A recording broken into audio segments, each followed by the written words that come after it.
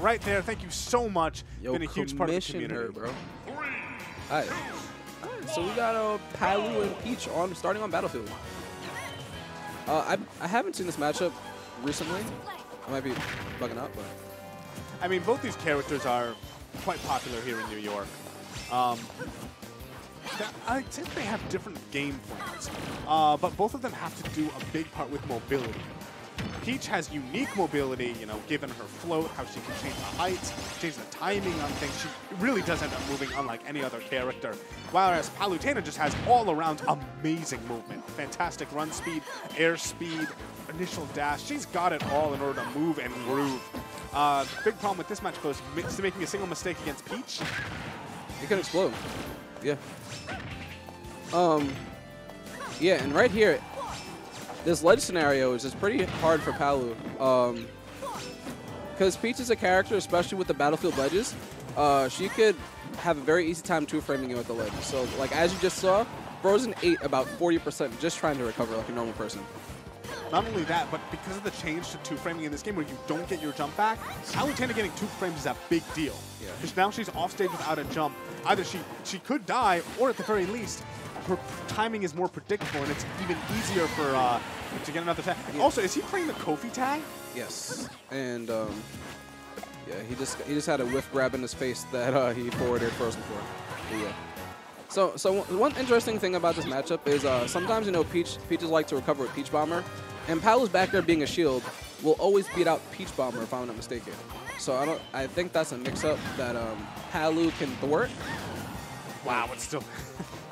that is also another thing about this match is explosive flame. The fact that when Peach is floating, I believe she still can't air dodge in this game when she's floating.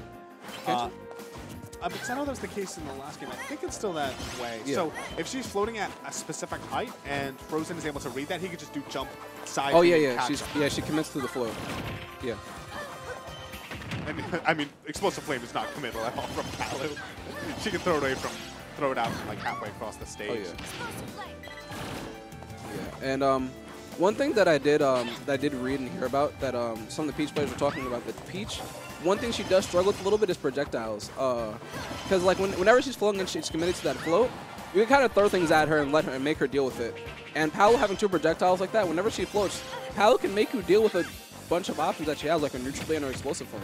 Only thing about that is that yes, it can be hard for her to traditionally deal with projectiles, but as you saw, the movement options you have once you float mean that you can snake through projectiles in a way that no other character can. To the point where this wall-out game is not, it's not been getting too much damage.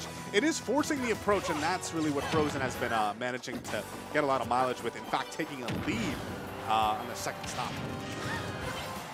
Yeah, and um, right now you have a, you have uh, Frozen with player four at the ledge, and let's see how he gets off the ledge right now. Because Frozen has been doing a great job at keeping player four at the ledge and really closing off his options. And with that being said, just securing that second stock. Now, this is, I feel like for player four, this entire set is a time bomb. Because the longer it takes, the more time Frozen is going to adapt to how you play. He's so smart. He's so good at just keeping track of what you like to do. And we're already seeing that within game one. What looked so dominant for player four is now he's down an entire stock, already having taken 36%. And very good chance that he's going to eat even more before he manages to uh, end the second stock that Frozen has. Yeah, and um, you know, with that being said, player four is a you know good player in his own right, and if he can secure the stock probably before 50%, like you know, looks well, looks good for him. I've always feel like maybe just my experience playing against him, but he's not really about the long game. He's about explosive power. And when you're playing from behind, explosive power isn't as good. Now it's really good. Now that you know this, he's uh, okay, yeah. Yeah. Ooh, but messes up that combo. Yeah, that would have been huge. Yeah, it looked like uh, Frozen mixed up his DI there. He instead of DIing away, which is what you should do, he DI'd in, which kind of messed up what uh, player four's combo route was going to be. Oh, and that's what you were saying, where just Palutena has the hitboxes to be able to hang back and punish that side beat. Yeah, because Peach Bomber is pretty hard to punish for most characters, but Palutena having the hitbox and having the speed on her aerials just contested flat out. Now we're just a lot of this is just space back air and forward air. I mean, if you're frozen, that's a good look. Although, as I say that, he actually got punished, and now he's taking a lot of damage from being trapped in the corner. Yeah, right now, you know, player four holding center stage right now, and Frozen is in danger right now at the ledge. You could die at the ledge at this percent. Oh, absolutely. Peach forward air is it's so meaty. And the funny thing is, both these characters have kill power, but it's interesting in how it ends up playing out, where Peach has, she can kill you so early with these explosive moves, but Palutena is about consistency. Her neutral air able to kill off stage. Yeah, no, I mean, yeah, that, that does, what did you think? No. Palutena neutral No, air. no, no. no. I, like I know, I know that kills, but I'm hmm, not sure if he could have lived that or not. Looked like good DI. I mean, it, with between neutral air being a long animation, and on top of that, the whole kill screen, I doubt he did it optimally DI. Yeah. Player 4 knows how to DI. Eh, yeah. Maybe he was trying to SDI out and he got caught. Uh, yeah, you can't SDI out of that. that's that's illegal and not true. not SDI out of that. Can't you SDI in to sort of keep you alive a little bit longer? Because like technically, if you SDI in and you're a little bit further into it, you'll be closer to the Yeah, I further know, away from the blast. I know. zone? Like I know SDI works a little differently in this game. I don't know why SDI Like it, works. it, it works. It works like uh, it depends on how long you're stuck in the multi instead of just SDIing out of the multi in general. So it's like it's it works a little bit differently, but not important now. We're gonna go on game two. Um, on Smashville, how do you feel about Smashville in this situation? Hmm. Now, I feel like it's hard to say. One thing is that given the fact that he was getting a lot of mileage off of stage control, that platform there makes it so much easier to trap people in the corner because it limits like one of these approach options. You have a roof over your head while you're also pressuring your opponent. So that could possibly be the game plan that uh, that he's looking for. Besides that, the blast zones on the side, I believe, are still smaller, so Peach forward air is going to be that much more threatening. Yes. Platform to land a little bit, maybe. Peach isn't really known for her juggling Yeah, but right now, um, pretty even game. Yeah, player four. Just trying to force first into the corner. Ooh, and nice spot dodge, not getting grabbed in that situation. The thing is, this is pretty even, but it feels like player four is threatening lethal more than uh, Frozen is. Uh, you know- As I say that, I forget I was, I was about to say, it seems like uh, Frozen has the emotional advantage because uh, play. emotional. With all these explosive flames that were going on, it just seemed like that he was pushing uh, player four further and further away from his comfort zone, and eventually got hit by it. the emotional advantage. Oh yeah, definitely. When you get hit by enough of those B moves, you, you- your emotional your emotional status kind of drops. What a- Actually able to survive the forward air, and okay, that's a bit of a backfire right there. The platform helping out uh, Frozen quite a bit, and back off the stage is even more damage. Frozen running away with this game. Ooh, yeah, went for the up smash read. It's anticipating the early recovery by player four. Remember that uh, Palutena threatens a skyscraper above her. She's alive? Wow. Yeah. And that's that- Stitch. Stitch on board. Okay. Now let's see what he could do with this. Uh, he's going to get it oh no. Okay. I thought it was going to get reflected back at him. That's it. yeah, you died. Oh, okay. Now we got a Mr. Saturn. Mr. Saturn on deck. Okay. Okay, what is with this luck? The one Uh, thing about Mr. Saturn is it, more than any of the others, can really just be used against you Oh yeah. if you're Peach.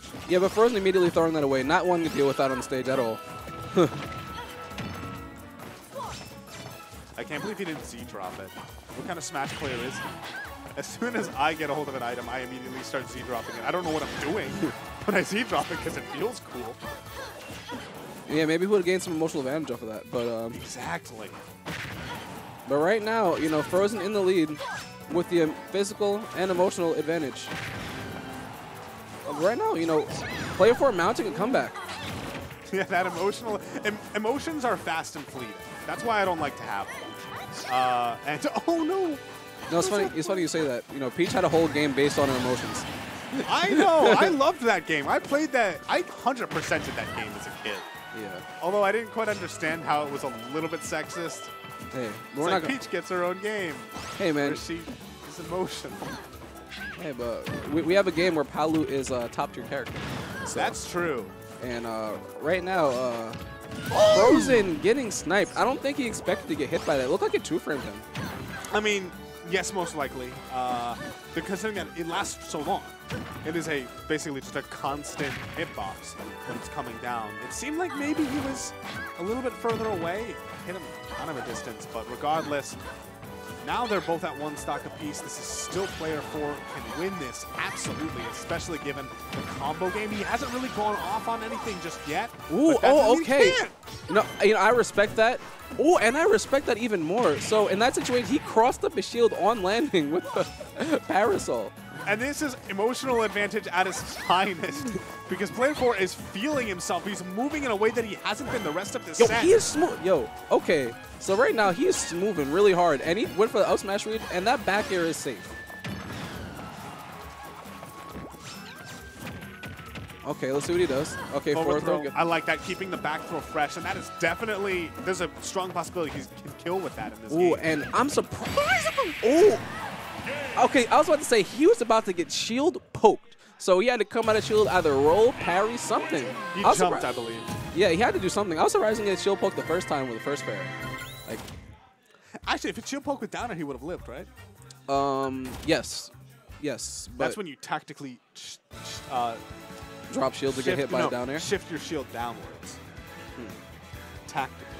Yeah. Y- for those who don't know, you can actually hold B and shift your shield. You don't have to like angle it with crazy like notches in your modified GameCube controller anymore. Yeah, yeah, you could just hold B and um, angle your shield. But um, yeah, man, great stuff by um, player four. Just is taking that last last stock by fire. You know, good stuff. Um, and we're gonna go to PS2.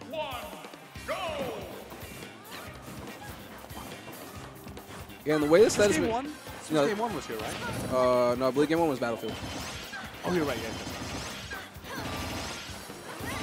Wow, and Oh. start off with a quick 55%.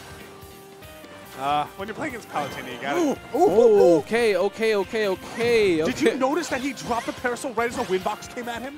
Yeah, and I was just, and he was just like, uh, you know what? Maybe this isn't the best decision. I might fly away. I mean, that was actually so smart. Like, I can't believe he accounted for that. Yeah. Yeah. Right now, um, you're first with a quick lead. Just keeping, just keeping player four on his heels, and great counter by player four. Yeah, I mean, I feel like player four is starting to play really smart right now, but what can smartness do against a shield in your face? Yeah. Like, you can't brain that away. Yeah, and Frozen playing, being very aware of that, uh, because Palu's best buttons are come from her jumping in the air. So he knows that. So he's keeping a distance, back airing and forward airing, throwing out some explosive flame. Just attack one to percent, because boxing and being up close to Peach, throwing out arrows, sometimes isn't the best thing to do, and he knows this. I mean, right now, throwing out those aerials was uh, key. Managing to get a uh, a solid back air. Oh, and he gets Th- did he get the drag down up air? Excuse me? Okay, it wasn't quite 55% that time. Only 43 to dish Yeah. out on Sinai, Oh. player four to start this game. Next stock, rather. Yeah, I don't, I don't know what that up B was. but, um, Oh, man. I really like the choice of PS2. Those falling back airs. If you're a character with a good back air, Pokemon Stadium 2 is really good for you. Just gets you like drop off back air, drop off platform back air. yeah, it, you could do drop zones a lot easier um, with the, the PS2 stage layout. Um, but right now, you know, player four just baiting something out, just dancing around Frozen in the mid range, and just calling that jump out with an up smash. Knowing that's a common option that players will love to pick in this game. Ooh, catching catching player four with the explosive flame on the step back. Oh, Palu back throw actually not killing. Uh, without any rage, I guess that's not going to finish it. But that's still, you don't need any rage for that move to kill on the ledge. Yeah, he's jumping in that forward too. Ooh, okay, near grab. I Yeah. like the coverage. Yeah, yeah, nice coverage by player four, but Frozen with the good DI, just minimizing the damage that could have been taken in that instance.